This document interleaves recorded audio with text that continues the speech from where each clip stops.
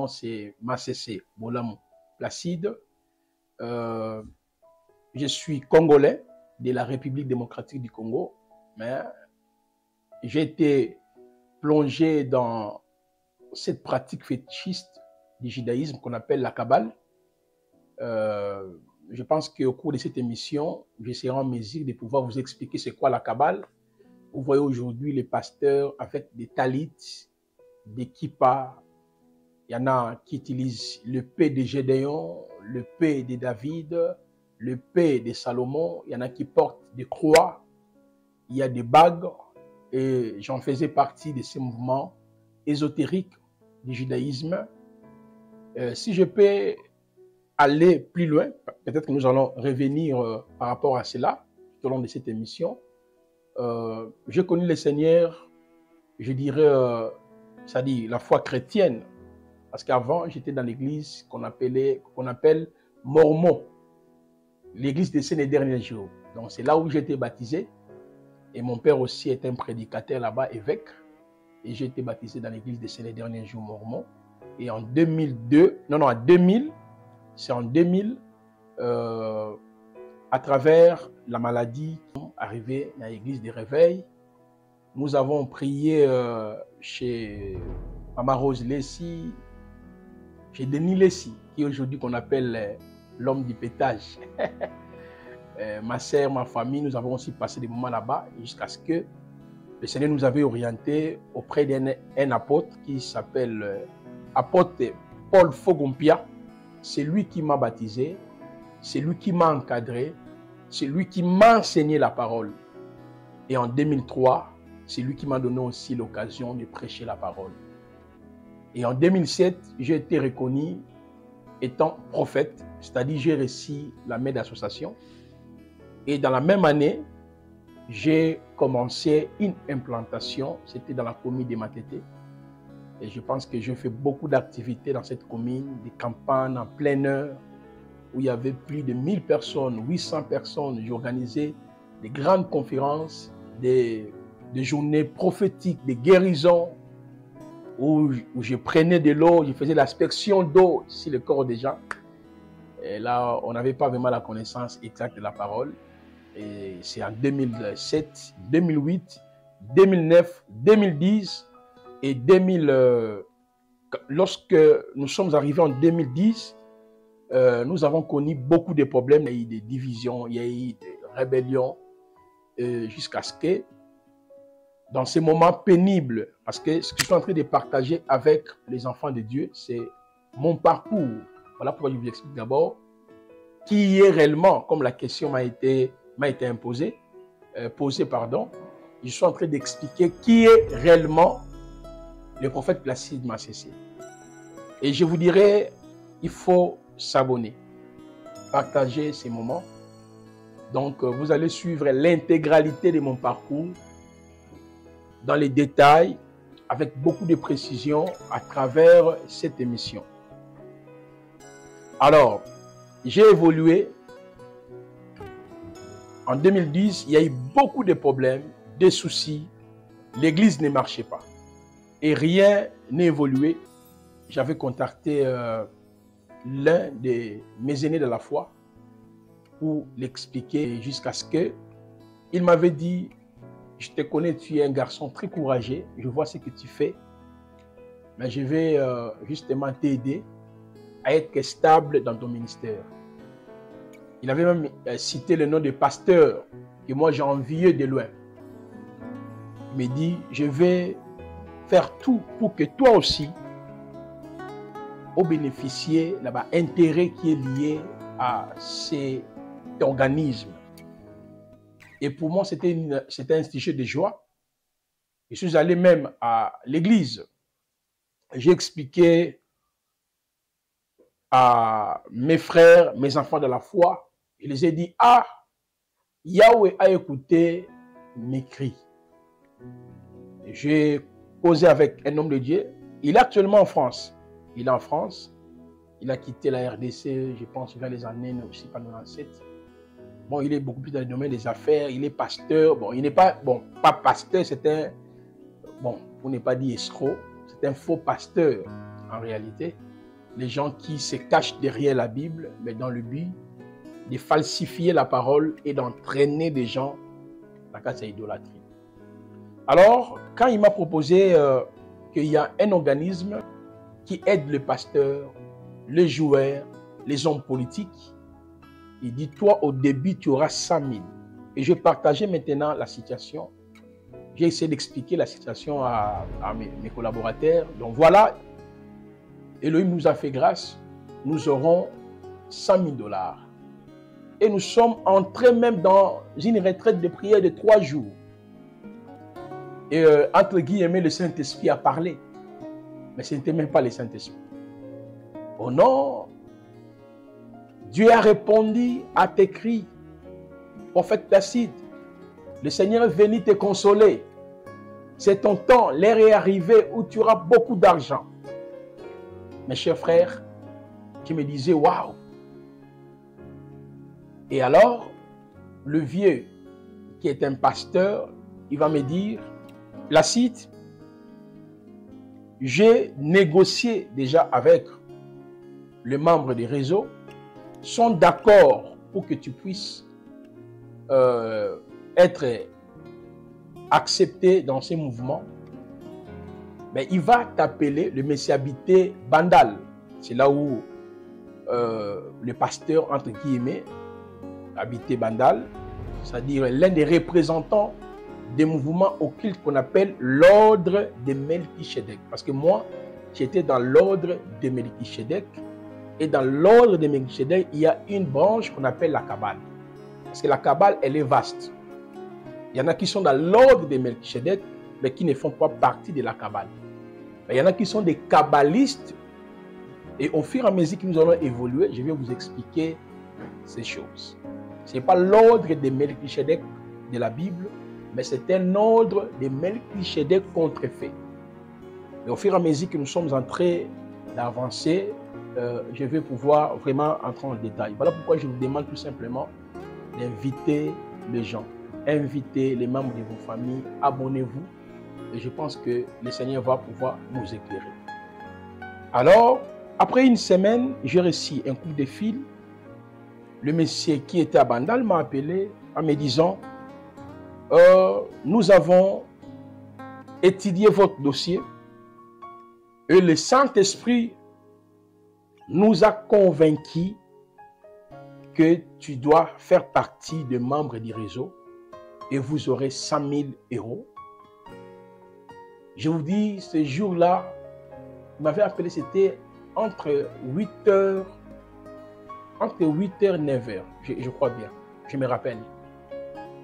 Et toute la nuit, je n'ai pas fermé l'œil en train de, de glorifier. Je disais, merci Seigneur. Quelle joie dans mon cœur. Et avec des fausses prophéties, les gens qui prophétisaient, oh Dieu va te récompenser et tout ça.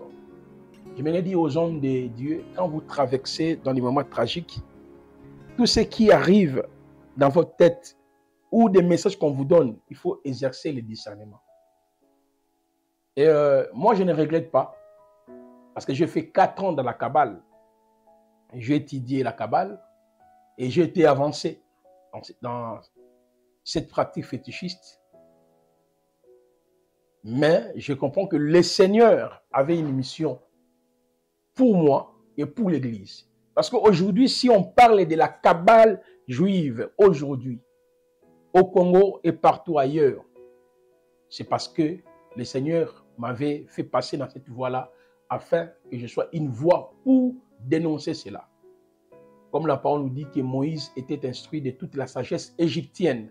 Autrement dit, il avait la connaissance de l'exotérisme égyptien et le même Moïse qui a reçu les mandats de pouvoir renverser toutes les, toutes les fausses divinités qui exerçaient leur domination sur cette terre, sur cette terre égyptienne mais parce que Moïse avait la connaissance de cela. Je ne dis pas que non.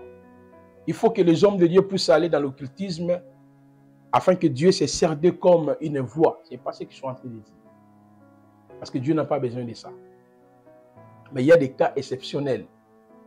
Parce que moi, je connais mes amis qui sont toujours dans ces histoires. On les appelle prophètes. Ils ne sont même pas prophètes. Et plus tard, je vais expliquer même comment on prophétisait à travers les entités. On vous dit, marchez quatre pas, bouge, élève ta main, frappe-moi. On aura le temps d'expliquer toutes ces fausses prophéties. Alors, euh, quand le Messie m'a appelé, il m'a dit qu'il viendra le dimanche à l'Assemblée pour voir d'abord les liés et prier avec nous. Je me rappelle, c'était un monsieur. Quand tu le vois comme ça, vous sentez déjà l'argent. Il est venu, il a prêché. Je me rappelle de deux textes bibliques qu'il avait exploités. Romains 5, 8, 10 et Jean 3, 16. Il expliquait si l'amour, comment par l'amour nous avons été rachetés. Comment par l'amour. Donc, il exhortait l'Église, les serviteurs qui étaient restés avec moi, les serviteurs loyaux, de continuer toujours à aimer l'œuvre de Dieu, à me respecter. Et quand il a fini, il me dira, nous avons eu le temps de prier. Et le ciel nous a répondu, et vous avez un parcours Yamounen avec le Seigneur. Voilà pourquoi c'est Dieu-là qui t'a appelé, nous a envoyé. C'est plus tard que j'avais compris, en réalité c'est faux. C'est un démon qu'on appelle Melchisedec et un autre démon qu'on appelle Métatron. Parce que j'expliquerai comment je quittais euh, la cabale. C'était pas, j'étais pas assis comme ça et j'ai dit, bon, je dois quitter la cabale. Non. Je vais expliquer ça peut-être dans la deuxième partie. Mais il m'a dit tout simplement, nous avons vu ton étoile. Tu sais, Dieu nous a dit, tu es un grand. Tu iras partout. Et je me suis rappelé de deux visitations de Yahweh lui-même. En 1993, quand j'étais encore à l'église des Saints les derniers jours, en plein jour comme ça, je vis un être, pas je dormais, un être physique comme ça, que je, ne pouvais pas regarder sa face. Il m'a dit, prends les rouleaux, avale les rouleaux, tu enseigneras la parole. L'être là est parti. Et en 2003, avant que je puisse commencer déjà à enseigner la parole, parce que à la fin de l'année 2003, où j'ai commencé à enseigner, je vis le même être qui est venu, m'a dit, avale les rouleaux, tu enseigneras. J'étais établi comme mon messager, tu prêcheras la parole partout.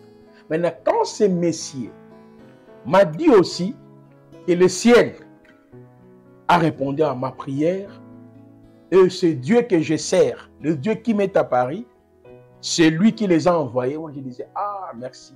Peut-être que c'est l'accomplissement de la mission. Homme de Dieu, soyez patient. Dans le ministère, j'aimerais lire un passage. Il va nous aider. C'est le conseil que l'apôtre Paul, n'est-ce pas, prodigué aux chrétiens de Corinthe. Je vais prendre des Corinthiens, chapitre 4. Ce verset va beaucoup plus nous aider. Le texte nous dit ceci. 2 Corinthiens chapitre 4. Écoutez ce que le texte biblique nous dit. Alors, car nous qui vivons, nous sommes sans cesse livrés à la mort à cause de Jésus, afin que la vie de Jésus soit aussi manifestée dans notre chair mortelle. Mes chers frères et sœurs, la souffrance que le Maître, le Sauveur, a connue, la même souffrance nous arrive. Il faut être patient et être à l'écoute du Seigneur. Là, je voulais dire aux hommes de Dieu, vous souffrez, les choses ne marchent pas, le ministère ne bouge pas. Ayons les regards fixés sur Yehoshua celle qui peut vous aider, celle qui a le pouvoir d'arrêter le problème, les difficultés, les combats qui arrivent dans votre parcours ministériel. Qui appelle au ministère? Celui qui appelle au ministère. Qui établit dans les ministères? Celui qui établit au ministère. ayons toujours la confiance en lui. Comptez toujours sur lui. Malheureusement, moi, j'avais plus la confiance à Elohim. J'avais plus la confiance au Seigneur. Je parlais d'un Dieu où je ne croyais même plus. Et ma pensée était beaucoup plus fixée sur les choses terrestres. Mes chers frères et sœurs, il s'est fait qu'en réalité, nous avons, parce que le Messie nous avait dit qu'il fallait faire, élaborer un projet. Et dans ces projets-là, il fallait préciser si vous avez 100 000 euros maintenant, comment vous allez pouvoir les rembourser? 100 000 euros pendant... Vous allez les rembourser pendant combien d'années? Bon, moi je disais, avec les frères, que devons-nous faire? Nous étions obligés d'élaborer maintenant des projets. J'ai vu le messieurs, je lui ai remis les documents. Et quand je lui ai remis les documents, il m'a dit qu'en réalité, nous allons étudier les dossiers. Mais tu dois comprendre que les dieux t'ont déjà accepté, t'ont déjà choisi. Alors, après une semaine, il m'a appelé. Il m'a appelé en me disant, nous avons vu le dossier et vous êtes accepté et nous allons vous donner ces 100 000 euros. Mes chers frères et sœurs, je le dirai peut-être au fur et à mesure que nous allons avancer dans notre émission, ce qui attire les hommes de Dieu dans l'occultisme, ce qui pousse les pasteurs, ce qui pousse les prophètes, ce qui pousse pas seulement les pasteurs, les prophètes, les évangélistes dans l'occultisme, il y a trois choses. Il y a l'amour de l'argent, la folie de la grandeur, le besoin pour répondre aux fidèles. Ce sont ces trois facteurs. Mais dans mon ouvrage, on verra ça plus tard, j'ai développé plusieurs facteurs qui favorisent l'invention de l'occultisme dans nos assemblées locales. Moi, tellement, été beaucoup plus motivé pour l'argent, motivé pour la gloire de ce monde. Et mon souci, c'était de démontrer aux gens qu'en réalité, je dois réussir. Parce que vous avez voulu me faire comprendre que je ne peux pas réussir, je dois réussir. Et euh, j'ai parlé aux frères dans l'assemblée et j'ai dit, notre dossier a été accepté. Et le Yahweh se souvient de tous ces frères qui m'ont soutenu parce que les autres m'avaient abandonné. Le prophète Placide n'a jamais été dans son propre gré pour aller chercher les occultistes, les marabouts. Non, je n'ai jamais cherché un occultiste, un féticheur pour que je puisse avoir l'argent. Mais j'ai été initié dans la Kabbale à travers un prédicateur. Je crois qu'à partir de la deuxième partie, je vais vous expliquer la Kabbale c'est quoi, leurs enseignements. Voyez, je vais démontrer ça ici. Et vous serez totalement éclairé. Là, je vous parle calmement de mon parcours. Qu'est-ce que j'ai fait et qu'est-ce que j'ai appris? Là, c'est peut-être après. J'avais un parcours déjà, un parcours. Je marchais déjà avec elle, Eloa, Elaï. Qu'est-ce que je n'ai pas expérimenté dans le domaine de la parole de connaissance, le domaine de la prophétie, le domaine des miracles? Quand je prêchais, il y avait des fois des vapeurs sur ma tête. L'ennemi, pour détruire quelqu'un, il se sert seulement de ce qu'il y a ou lui donné. Et c'est alors, mes chers frères et sœurs, j'ai parlé, comme je l'ai dit, avec les frères. Voilà, le dossier a été accepté. Et nous sommes entrés même en prière. Homme de Dieu, si vous n'avez pas le discernement, ou si vous n'exercez pas le discernement, à travers le prophétie, les visions que les gens, ou ce que vous-même vous voyez, mes chers frères, vous allez regretter. La femme de Pilate a eu un songe que Yehoshua était innocent. C'est ce que la femme de Pilate a dit à son mari. Laissez cet homme, c'est un homme juste, c'est un innocent. Mais la vision, elle était correcte. Mais c'était une vision erronée, une vision satanique. Parce que selon les prophéties bibliques, il fallait que le Messie a passé par la mort. Je prends par exemple Zacharie chapitre 12, le verset 10e. Il devait être percé. Zacharie 11, verset 13. Il fallait que le Messie soit vendu aux 30 cycles, quand bien même ces prophéties concernent Elohim lui-même. Ésaïe 53, il fallait que le Messie a passé par la souffrance. Lui-même l'a prononcé. Il dit, comme Jonas a fait trois jours et trois nuits, de la même manière, le Fils de l'homme. Il a dit même dans Marc 8, le Fils de l'homme sera livré entre les mains des sacrificateurs. Or, qui avait le droit pour que le Machia soit crucifié C'est Pilate. Mais il y a un message qui arrive pour dire cet homme est innocent. Voilà pourquoi, moi aussi, je me suis retrouvé dans ces pratiques de la Kabbale, je n'avais pas le discernement. Ma motivation, c'était justement de démontrer aux gens que j'ai réussi.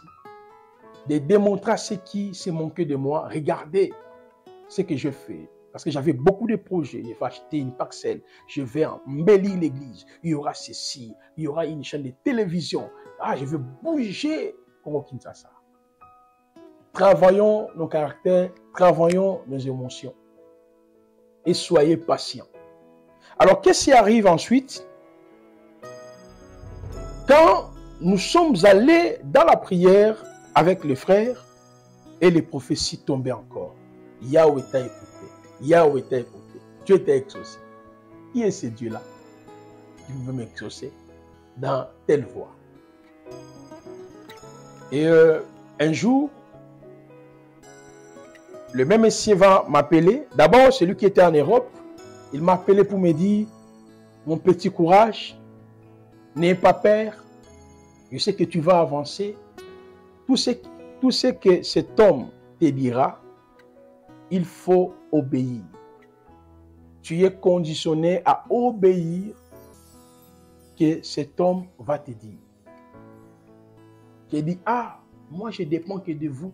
Je suis venu auprès de vous parce que je suis dans les besoins. Vous comprenez, mes chers frères et sœurs? Alors, le monsieur me dira, Monsieur Placide, nous allons vous donner 100 000 euros. Mais il faudrait que nous puissions vous expliquer comment rembourser cet argent. Parce que là, j'avais écrit, nous allons rembourser 100 000 euros dans 10 ans. Mais il dit oui. Maintenant, on va t'expliquer comment tu vas rembourser cet argent. Donc, d'où il est essentiel de pouvoir prendre quelques formations quelques cours, comment gérer l'argent, comment dans l'entrepreneuriat en fait. Et nous sommes arrivés aussi dans un bon cadre. Là, il n'y avait pas la question de la cabale. On nous apprend, c'est-à-dire les différentes notions de l'écopole économique que nous avons étudiées même à l'université, les développements d'une nation, la, la reproduction, la terre, il faut ceci, il faut beaucoup de théories. Comment tu peux faire des dépenses, les calculer et tout. Il y avait vraiment plein de choses que j'avais aimées. On nous explique maintenant. Maintenant, le cours était beaucoup plus lié aux Écritures. On vous prend les personnages de la Bible, comment ils travaillaient, Abraham travaillait, Isaac travaillait. Or, tout cela, on nous préparait.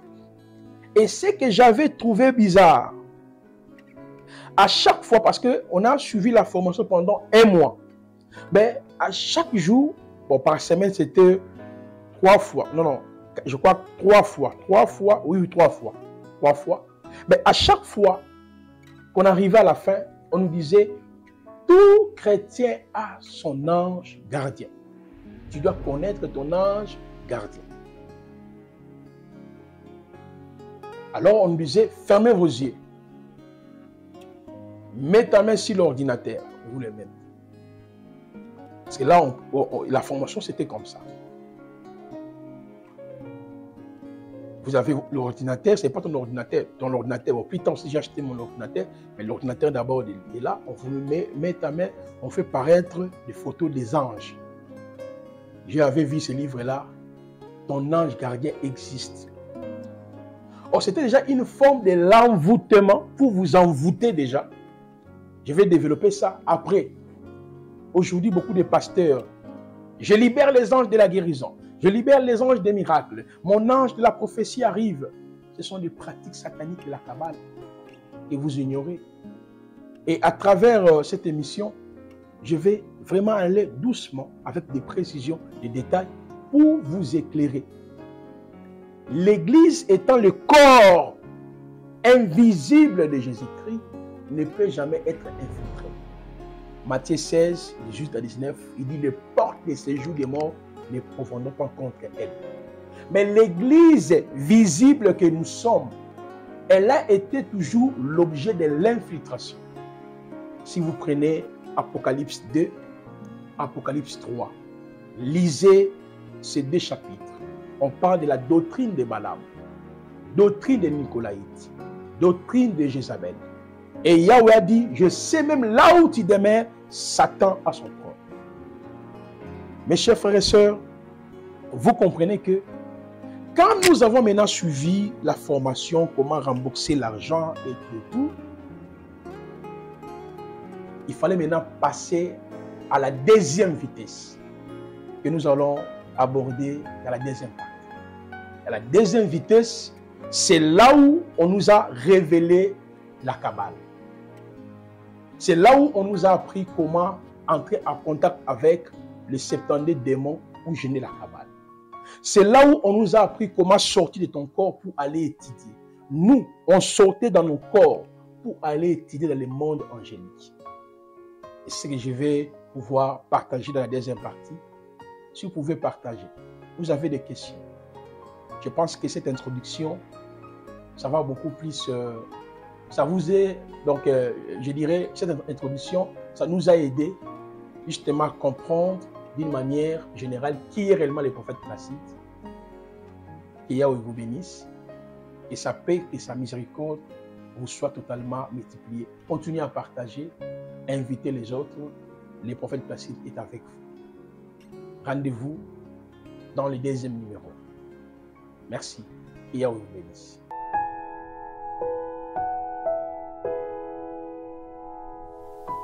Par rapport à la question, c'est quoi la Kabbale?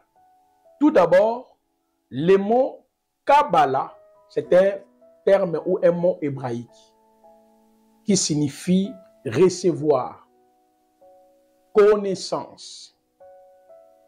Vous voyez? Secret, savoir, c'est ça Kabbalah. Et euh, je vois souvent les gens parlent, il y a la cabale chrétienne et il y a la cabale euh, ésotérique. C'est faux. La cabale chrétienne n'existe pas. La cabale n'est rien d'autre que la sorcellerie juive. Comme dans toutes nos tribus, nous avons aussi la partie ésotérique, sorcellerique dans toutes les tribus, dans toutes les langues, dans toutes les nations, il y a toujours cette partie-là. De la même manière, la Kabbale et la sorcellerie juive. La Kabbale est la face cachée de la sorcellerie. OK? De quoi? De la sorcellerie juive. Je pense qu'à ce niveau, vous avez compris. Quand on nous enseignait la Kabbale, c'est ce qu'on nous expliquait. Mais je me rappelle euh, de l'enseignement qu'on avait reçu pour la première fois. C'était l'initiation au rayon des archanges. C'est là où je vais expliquer, je vais aborder la deuxième question que vous m'avez posée. Quels sont les enseignements de la Kabbale je, je parlerai d'une manière générale. Eh bien, nous allons entrer dans les détails petit à petit. Et tout ce que je peux vous demander, partagez, abonnez-vous, invitez les autres. Vous allez suivre l'intégralité de mon parcours dans les cabales et ce que nous dénonçons pour vous aider vraiment à être éclairé. Alors, je me rappelle lorsque nous avons fini la formation Comment rembourser l'argent gauche à droite, c'est en ces moments-là, on nous parle sur la notion des anges. Et la première leçon que nous avons vue quand j'étais encore dans ces histoires de la cabale juive, que je viens de dire, sur fait c'est la sorcellerie juive, l'initiation au rayon des archanges. On développait un enseignement là, comment un homme peut activer son ange gardien. Alors, on nous disait comment opérer avec les anges, comment activer les anges. Et je me rappelle, on nous parlait sur l'initiation des quatre, euh, l'initiation au rayon des quatre archanges. Comment collaborer avec l'ange Uriel, qui est un démon? Comment collaborer avec l'ange Raphaël, qui est un démon?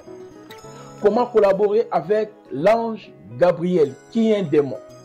Comment collaborer avec l'ange n'est-ce pas Michael qui est un démon? Peut-être tu es étonné, mais Michael est dans la Bible.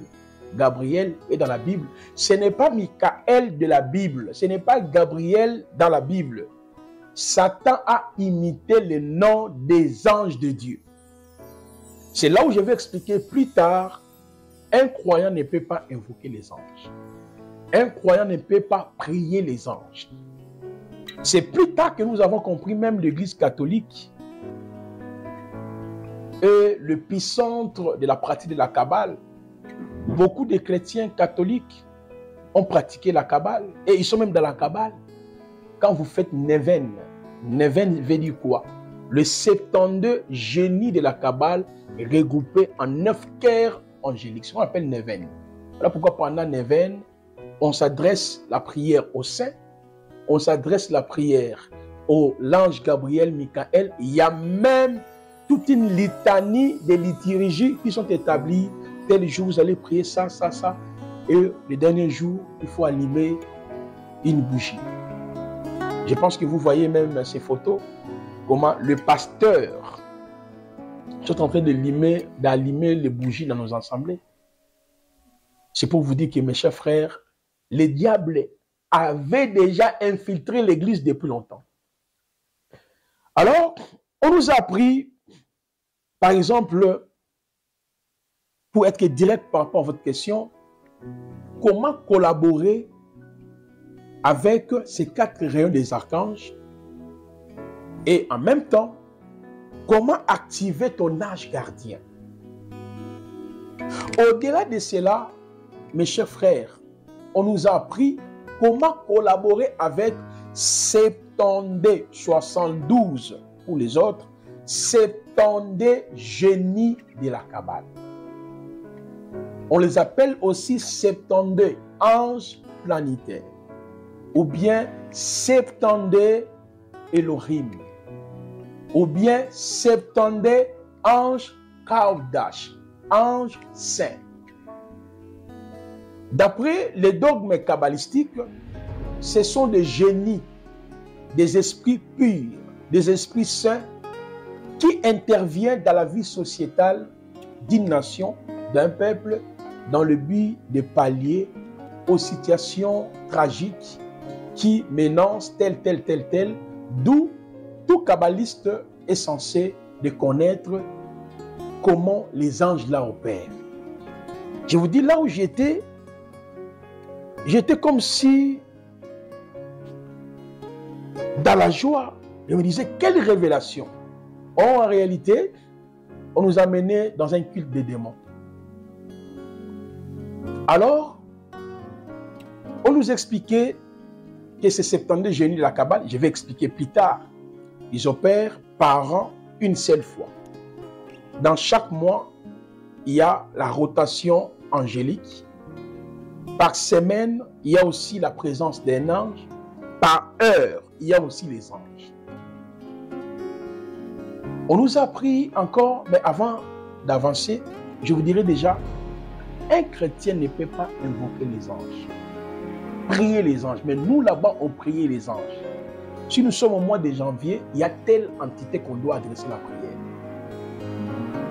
Si nous sommes lundi, lundi, si peut-être nous sommes lundi, lundi on demande les mariages. Si c'est mardi, mardi on demande la guérison. Si c'est jeudi, jeudi on demande les miracles. Pourquoi? Parce que par semaine, il y a les anges qui opèrent. Et les anges là qui opèrent, ce ne sont pas des anges de Dieu.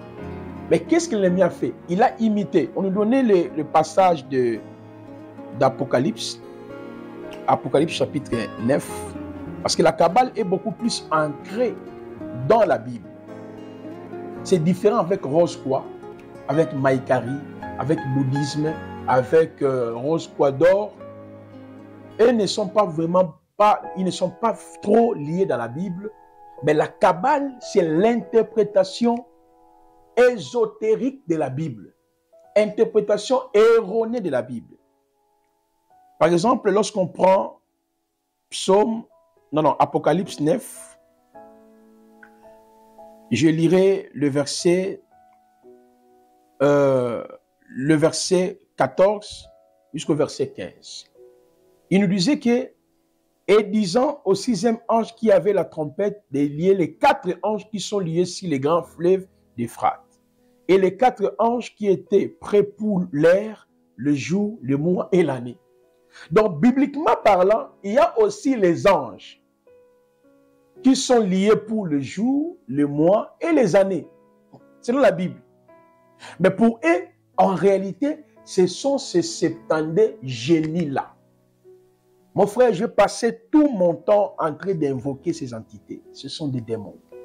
Les chrétiens ne peuvent pas invoquer les anges, ni adresser la prière aux anges, adorer les anges, faire l'appel aux anges. Pourquoi? Un ange, c'est un esprit. Hébreu 1er, verset 13. Deutéronome 18, le verset 4 nous dit N'allez pas auprès de ceux qui invoquent les esprits. On aura le temps d'expliquer ça. Et maintenant, quand on prêchait, on disait aux gens L'ange de la guérison est ici. Reçois, reçois. Là, les gens tombaient, les, les esprits mauvais partaient. Mes chers frères, ce que l'ennemi ne peut pas imiter, c'est le fruit de l'esprit et la résurrection tout ce qui est lié à la manifestation au signe spectaculaire, la prophétie, la guérison, le miracle, la délivrance, ne sont pas des signes pour attester la véracité du ministère d'un homme de Dieu. C'est faux. Parce que nous, quand on pratiquait ces choses ici, il y avait des témoignages.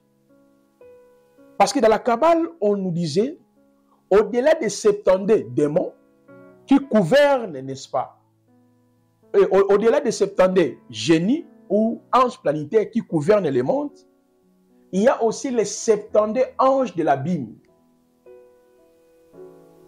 qui constituent le gouvernement de Satan, d'où il faut faire l'appel aux esprits saints afin de pallier aux problèmes des gens, ça et là. Mais je vous dis, mes chers frères et sœurs, tout cela, c'était rien. Donc, on était toujours dans les cultes des démons, cultes des esprits. C'est cet enseignement qui est répandu dans nos ensembles aujourd'hui. Tu dois connaître ton ange.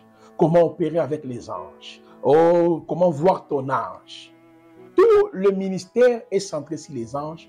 J'aurai le temps d'expliquer les indices pour découvrir tel pasteur, tel bishop, tel prophète qui pratique la cabane. À part ça, on nous a aussi appris euh, les secrets de la guérison à travers le pratique sacerdotaux. L'eau fait, heure, terre. C'est-à-dire l'eau, fait, vent, la terre, les quatre éléments. Là, il faut avoir les talites. Je crois que vous voyez déjà les talites. L'habit que vous voyez, les pasteurs, le prophète. Il a les bénis, le pasteur Christ. Tous les pasteurs africains élevés, la plupart utilisent cet habit qu'on appelle les talites. On nous expliquait les talites Gadol, Katan. Et dans les talites, il y a quatre fils, les quatre fils-là qui constituent les quatre éléments qui dirigent le monde, l'univers, l'eau, terre, air et puis vent. Comment maintenant libérer les entités de l'eau? Voilà pourquoi il faut utiliser l'eau pour la guérison. Pour la guérison, c'est ce qu'on nous a appris. On aura le temps d'expliquer ça. Comment libérer les entités à travers le feu? Le feu, le feu, le feu, le feu, le feu, le feu, le feu, le feu, le feu, le feu. Les gens crient, mais c'est quoi ça? La parole nous dit, vous chasserez les démons. Quel est ce fait-là qu'on invoque à chaque fois? Comment libérer, guérir les gens à travers le vent? Il y a un vent, il y a un vent, il y a un vent, il y a un vent. Les miracles accompagneront ceux qui ont crié à mon nom. Tout ça là, c'était quoi? Manipulation des esprits. Je le fais. On prenait de l'eau quand tu fais comme ça, les démons quittaient le corps des gens. Euh, moi, quand les gens me disent, prophète Placide, lui n'aime pas les miracles, papa, moi je ne fais pas les miracles. Je prêche la parole. Si Yahweh guérit, il guérit. S'il ne guérit pas, il ne guérit pas. Je n'ai pas le temps d'impressionner les gens comme je le faisais autrefois, mais sous l'influence de ces génies. Et pourquoi les pasteurs aujourd'hui utilisent des talits et tout ça Là, ce sont des instruments ou des objets de la Kabbale. On nous a appris. Il y avait aussi la notion de la kippa. On aura le temps d'expliquer ça. La notion des bagues de la Kabbale. Bagues de protection. À part ça, il y avait le fil cramoisi. Parce que la Kabbale n'est pas seulement le domaine ma président. La plupart de nos présidents africains, européens, américains sont de la Kabbale. Le joueur, des hommes d'affaires, des footballeurs, ils sont dans la cabane. La cabane n'est pas seulement pour les pasteurs. Donc, tous les domaines de la vie, les gens se retrouvent dans cette pratique-là. Mais je vous dis, il n'y a rien. Seul Jésus-Christ qui a le pouvoir de combler le vide qui est en vous. Il a dit dans Matthieu 11, 28, 29, venez à moi, vous tous qui êtes fatigués, chargés, je vous Je vous expliquer comment j'ai quitté la cabane. Je été visité par ces démons Métatron qui m'a frappé avec l'épée de David. Vous voyez pourquoi les pasteurs, je crois que vous voyez les images, ont une épée dans la délivrance. Ils élèvent l'épée. Tous les pasteurs élevés ici. Je crois que les photos sont là. Nous ne sommes pas contre tel pasteur, mais on pose la question. La parole nous dit que l'épée, selon nous, c'est la parole de Dieu. Mais comment un pasteur peut utiliser une épée physique? L'épée là a l'étoile de David.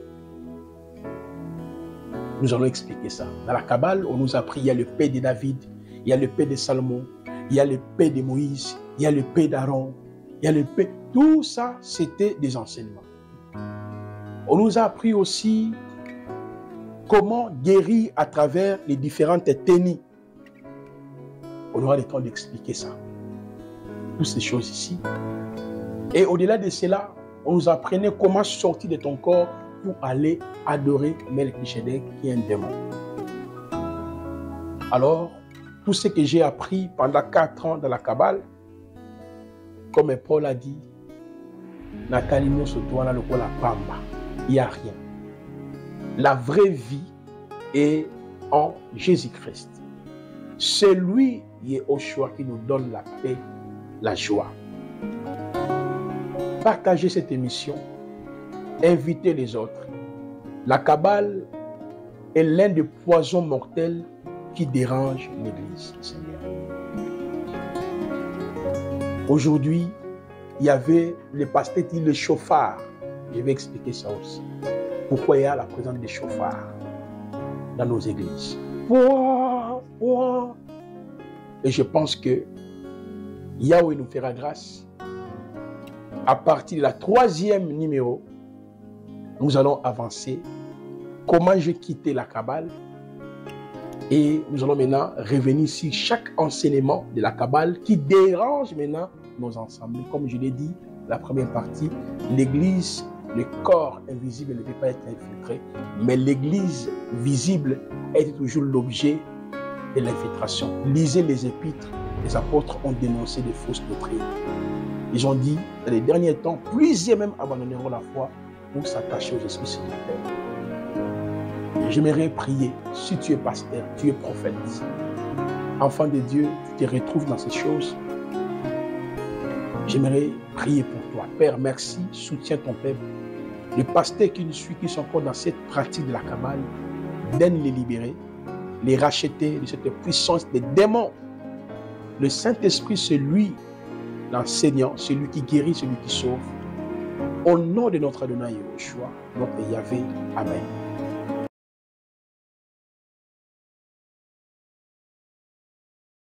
Merci beaucoup euh, pour cette question que je trouve euh, pertinente.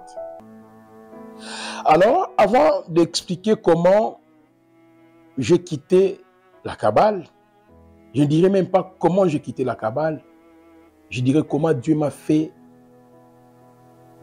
comment Dieu m'a fait quitter ou m'a fait partie de la Kabbale. Parce que de moi-même, c'est impossible de quitter. Parce que ceux qui sont de la Kabbale, leur âme est assujettie par les démons. Le fait que l'ange gardien est activé, qui est un démon, ta conscience n'est plus opérationnelle. Rappelez-vous que l'homme est trichotomique, l'homme a l'esprit, a l'âme et le corps. Dans l'esprit, il y a l'intuition et l'adoration. Dans l'âme, il y a l'inconscient la subconscient, les émotions, la volonté, les sentiments. Je vous ai dit ici, euh, quand j'étais déjà dans la salle pour apprendre comment gérer l'argent et comment rembourser l'argent, on nous enseignait déjà la notion de l'ange gardien. Avant les 30 dernières minutes pour clôturer le cours, on nous parlait euh, de la face cachée de la Bible, l'importance d'avoir l'ange gardien. Alors, il s'est fait que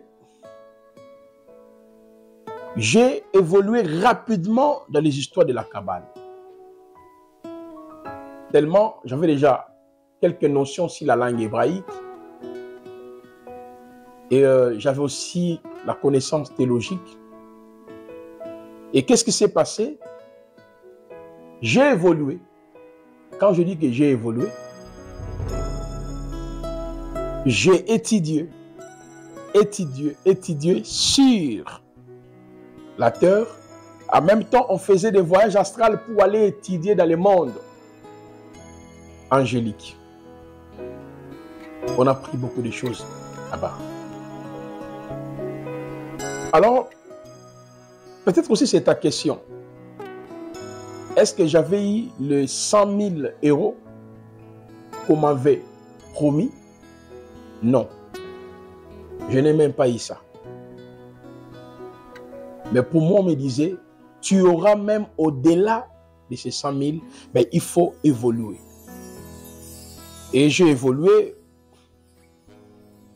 sur les enseignements tels que invocation des anges, les enseignements sur comment se connecter avec les esprits des justes qui sont parvenus à la perfection, se connecter avec l'esprit de Pierre, l'esprit de Jean, l'esprit de Jacques, l'esprit de ces différents personnages bibliques. Alors, tellement je pratiquais déjà, j'étais avancé. Vous savez que notre Père, l'apôtre Paul, a aussi pratiqué la tradition ancestrale qu'on appelle la Kabbalah. Paul a dit dans Galates, chapitre 1er, le verset 14, il dira, j'ai été avancé dans le judaïsme. Il parle du judaïsme. Le judaïsme, en fait, ce n'est pas la Kabbale. Le judaïsme, c'est l'étude de la paracha. C'est-à-dire, on vous apprend la Torah et Nevim les Ketuvim. Mais ceux qui étudient le judaïsme ou la Torah ne sont pas forcément les kabbalistes. Mais il y a déjà l'influence de la Kabbale dans titre de la paracha. Donc, ceux qui pratiquent la Kabbale, c'est celle Yehoshua Amashia qui a le pouvoir de les délivrer, qui a le pouvoir de venir vers eux pour les libérer, les délivrer sous l'influence kabbalistique. C'est là où j'y étais. Je connaissais déjà la Torah, j'avais la connaissance de l'évangile, mais j'étais aussi avancé dans le judaïsme. Il dit même aux chrétiens, il ne faut pas critiquer seulement les pasteurs qui portent les talit. Le pasteur utilise la kippa. Le pasteur qui utilise le peu de David et Gédéon dans nos assemblées. La majorité sont envoûtés. La majorité sont malmenés par le diable lui-même. La majorité, leur conscience n'est plus opérationnelle. Prions que Yahweh se révèle à ses élus. Pour que ceux qui sont déjà dans ces pratiques fétichistes, qui se répandent, reviennent à Yahweh. Et j'aime bien ce que l'Apocalypse nous dit. Souviens-toi d'où tu étais tombé.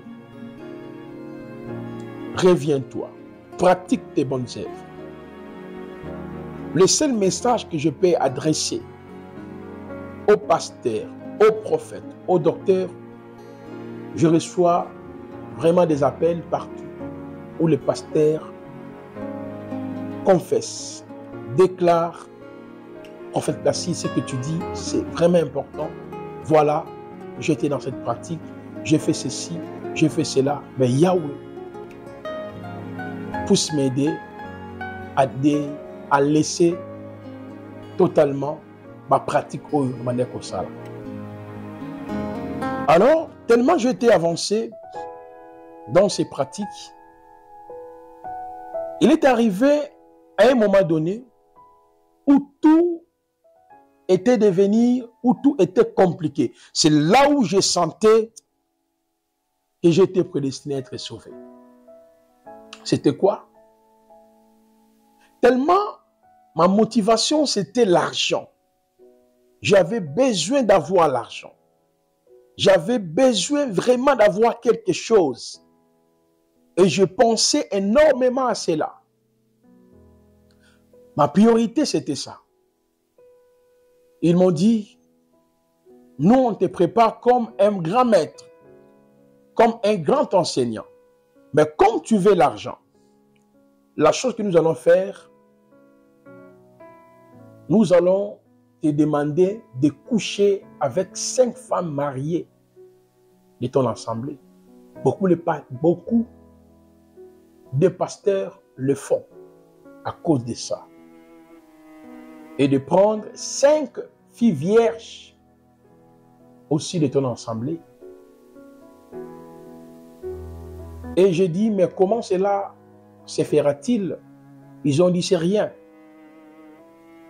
tu choisiras un hôtel.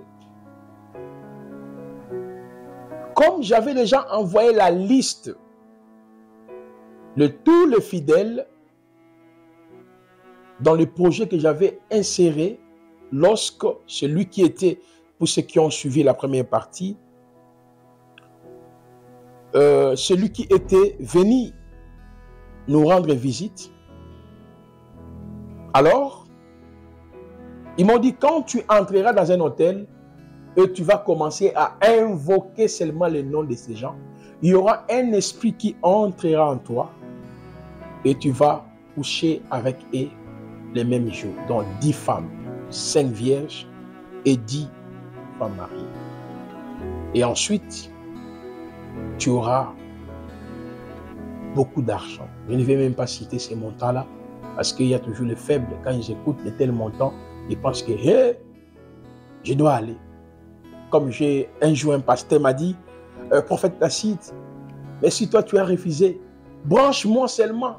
Moi je peux aller, j'ai besoin d'argent. Est-ce que moi j'ai vu Jésus là? Il n'a jamais vu. Mais si quelque part on propose de l'argent, je m'en fous. Hum. Que servira-t-il un homme de tout gagner et de perdre son âme? Après cette vie, il y a encore une autre vie qui nous attend. Alors, mes chers frères, l'amour de El Eloa est tellement immense. Il s'est fait que le prophète Placine Massissé, qui vous parle, et je me disais, Seigneur, avec de telles conditions, comment je pourrais arriver Tout ceci, c'est pour l'argent, c'est pour la gloire, c'est pour le succès. Mais comme la parole nous dit, c'est qu'il a connu d'avance. Il les a appelés, Romains 8, 29 à 32. Ce qu'il les a appelés, il les a justifiés. Ce qu'il les a justifiés, il les a glorifiés. Et dans Jean 15, 16, il dira, ce n'est pas vous qui m'avez choisi, c'est moi qui vous ai choisi. Il m'avait déjà choisi, établi et appelé. On avait l'habitude, quand tu te réveilles le matin, tu adresses la prière d'abord à l'ange qui dirige, exemple, le mois de janvier. Tu t'adresses la prière à Melchisedec. Tu t'adresses la, salutation aux anges de la semaine, aux anges du jour. Je vous dis, je ne pouvais même pas faire cette prière-là. Et c'est de là, je sentais déjà un danger qui arrivait dans ma vie. Le matin, je n'ai pas fait ça. J'ai évolué. Les après-midi, je n'ai même pas fait ça. Et jusqu'à ce que on arrive, n'est-ce pas, le, le soir, je me suis dit, bon, je ne le ferai pas. C'est de là que je sentais déjà danger qui arrivait. Bandeko. Et je me rappelle, j'étais avec un frère, je lui ai dit, viens. Je, sens un danger, tu viendras prier avec moi. Le frère n'était pas disponible, j'ai appelé une sœur qui m'accompagnait. Nous sommes arrivés chez nous, à la maison. Chez mes parents, au fait. Alors, j'ai dormi. J'ai dormi. Et qu'est-ce qui s'est passé? Pendant que j'ai dormi, Yahweh avait créé en moi un sentiment de tout rejeter. Et pendant que j'ai dormi, dans son amour infini, celui qui nous a connus d'avance, il est venu vers moi à travers son ange. Et l'ange est venu pour me dire, réveille-toi, nous allons prier. Réveille-toi, plutôt, tu dois prier. Réveille-toi, tu dois prier. Alors, il s'est fait que j'ai voulu euh, contacter l'ange gardien qui marchait avec moi pour savoir quel était cet ange. Tellement je n'avais pas respecté la logique, c'est-à-dire les différentes prières qu'on nous avait recommandées. Et c'est en ces moments-là, rien n'est passé. Je vis un démon de Métatron qui a fait son apparition avec le paix de David il m'a frappé. Quand il m'a frappé, le sang coulait. J'étais par terre. Et c'était vers 3 heures, 4 h 5 heures, jusqu'à ce que ma mère, ma vie, tout a commencé par là. Ma délivrance a commencé par là. Les gens me parlent beaucoup, pourquoi tu cites pas le nom de Walesa? À un moment donné, tu parlais de Walesa, Walesa. Peut-être que j'aurai le temps ici d'expliquer qu'est-ce qui s'est passé entre moi et Walesa? Et pourquoi je ne vais pas citer son nom dans mon parcours? Je ne suis pas contre cet homme. Je respecte les aînés de la foi. Mais je n'aime pas les faux serviteurs. Je n'aime pas les manipulateurs. Mais je respecte les aînés de la foi. Et à travers euh, cette émission questions-réponses, j'aurai le temps d'expliquer qu'est-ce qui s'est passé exactement sans polémique. Ma délivrance a commencé chez nous à la maison. Il y avait des hommes de Dieu. Il y avait des prophètes qui sont venus pour prier pour moi. Et de là, le Seigneur est descendu. Il m'a retiré de la cabale. Après un temps, j'étais tombé malade, hospitalisé. Et quand le Seigneur m'a rétabli, j'étais parti. Alors, je suis allé en retraite pendant sept mois. Je priais. Je priais. Imaginez que j'ai fait quatre ans dans les histoires Talit qui pas invoqué les anges et tout consort. Et Yahweh m'avait imposé un temps dans la prière. Je me rappelle, lorsqu'on m'avait dit de prendre cinq femmes et cinq vierges, on nous expliquait le passage qui dit là où le péché a abondé, la grâce a surabondé. On nous disait qu'un chrétien ne peut pas perdre son salut. Comme tu es là, tu es lit. Même si tu pêches, il y aura toujours le pardon pour toi. Il faut que le péché abonde, la grâce surabonde. Alors comme le Seigneur lui-même avait imposé ce silence, c'est-à-dire de ne plus obéir à la voix des démons de génie-là. Et lui-même, le Seigneur, est venu me libérer sous l'emprise de ce génie. Mais je vous dirais, quand j'ai quitté la Kabbale, qu'est-ce que je n'ai pas subi comme attaque spirituelle? Il y a eu les attaques énormes. Quand je fermais mes yeux comme ça, en train de courir. Je ne dormais pas. Je courais seulement. tout était compliqué. Au-delà de cela, la, prière, c'est une arme efficace. Je priais, je priais, je priais jusqu'à... Je me rappelle, j'étais à Bibois, là où euh, Walesa, parce que j'ai dit, je parlerai de Walesa. Pourquoi? Euh, parce que les gens me disent dans ces témoignages, vous omettez le nom de à votre parcours. Je vous dis sans polémique, je parlerai de lui. Parce que nous avons vécu ensemble quatre ans. Il arrivait des moments, il dormait sur le lit, il m'invitait, venez dormir. On était ici, euh, euh, ici Luntu, quelque part ici, Pelustor, Luntu. On a passé des moments. Je le connais, il me connaît. Je parlerai de lui sans polémique et je n'aime même pas les polémiques. Mais si je l'ai écarté dans mon parcours, parce que dans mon témoignage, il y avait eu aussi des mensonges. Certaines choses que j'avais dit n'étaient pas correctes. Donc ça dit, on te pousse de dire certaines choses pour élever le nom de des personnes. Vous savez, Paul dit, quand j'étais enfant, j'ai parlé comme enfant. Donc voilà, j'étais obligé d'arrêter de continuer ma marche.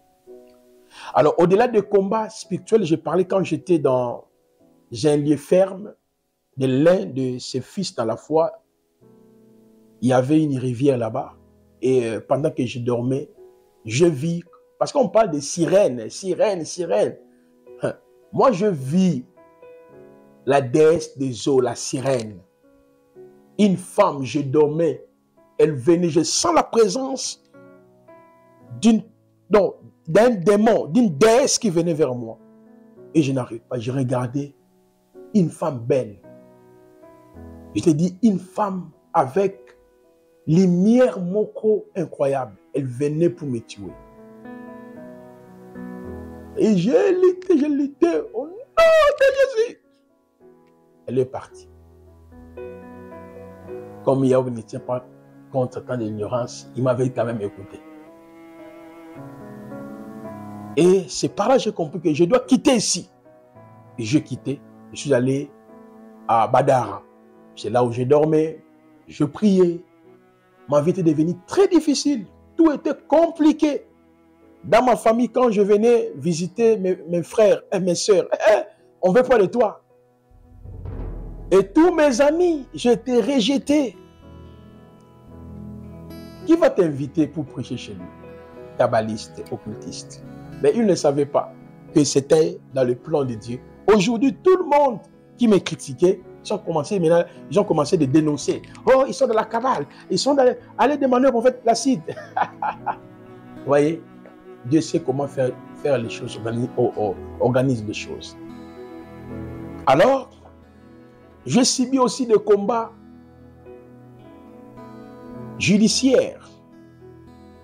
Le pasteur de la RDC, pour ne pas citer leur nom, ils sont allés m'accuser à l'année, ici à, ici à la commune de la Gouvernement royale. Que le Seigneur se souvient de cet homme, le pasteur Cosma, qui a travaillé avec euh, le pasteur Ngalas. Que le Seigneur se souvient de ces pasteurs, bien sûr, ils ne sont pas ensemble. C'est lui qui m'a aidé. Je me rappelle, il a payé plus de 5 000 dollars. J'étais là à l'année. On m'a dit, regardez, le président des églises des rêves au Congo t'a accusé. Regardez tel pasteur, tel, tel, tel, tel. Ils ont dit, tu crées des faux bruits, des faux témoignages. Tu veux les dénigrer. Tu dis qu'ils sont de la cabale. Oh, j'ai cité même pas le nom des pasteurs. Moi, j'ai parlé de mon expérience, de mon parcours, qu'est-ce que j'ai vu dans la cabale? Et tellement, tout ce que ces prophètes, les apôtres là enseigné, il y avait comme le point commun par rapport à ce que je disais. On le, voit avec l'équipe, on le voit avec les talites, on le voit avec des chauffards. Ils ont dit non, il faut arrêter ces petits, il faut les détruire. Mais Yahweh était avec moi. Et je passais aussi dans de tels moments, je fouillais, il fallait m'arrêter et tout et tout.